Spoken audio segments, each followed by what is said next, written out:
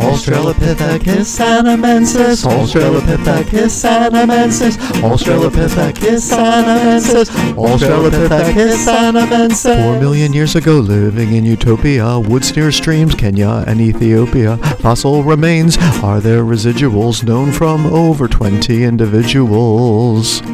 Oldest Australopithecine, ha! Oldest Australopithecine, ha! Oldest Australopithecine, ha! Oldest Australopithecine, ha! Australopithecus anamensis, Australopithecus anamensis, Australopithecus anamensis, Australopithecus anamensis. Look at the bones and their shapes, some more like humans than other apes. Thicker enamel, reduced canine, tibia, ankle, and the spine. Oldest Australopithecine, ha! Oldest Australopithecine, ha! Oldest Australopithecine, ha! Oldest Australopithecine, ha!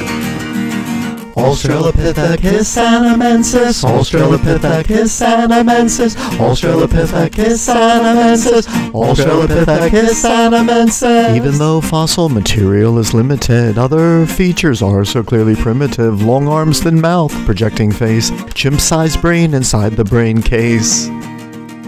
Oldest Australopithecine, ha! Oldest Australopithecine, ha! Oldest Australopithecine, ha! Oldest Australopithecine, ha!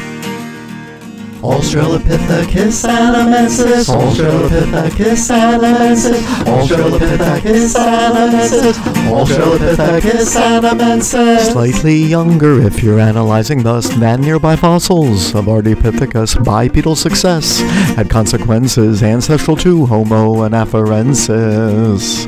Oldest Australopithecine, ha! Oldest Australopithecine, ha!